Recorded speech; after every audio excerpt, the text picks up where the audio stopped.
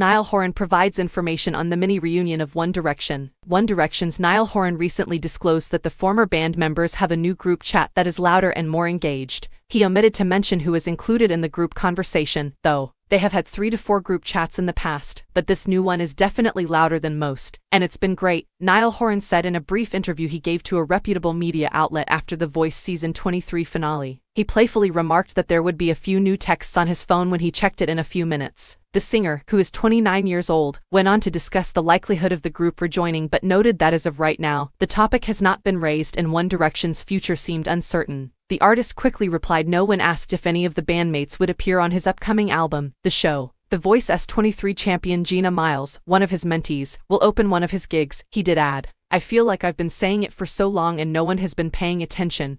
But this girl is dot dot dot you can always tell a talent when you hear it. This girl has it, too. So, yes, there's no reason why she shouldn't somewhere in the future open up to me. Also read, My Policeman's Michael Grandage discusses casting Harry Styles in the movie. The show by Niall Horan will be released on June 9th. As he discussed his planned US tour for the new album, he said, getting out there every night, feeling that feeling, playing tunes you've written.